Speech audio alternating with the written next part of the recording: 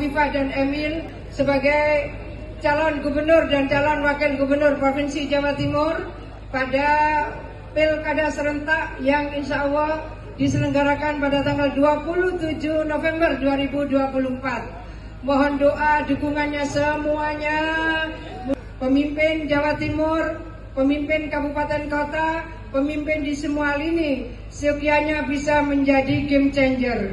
Mereka bisa mengubah keadaan dari yang biasa-biasa saja menjadi luar biasa.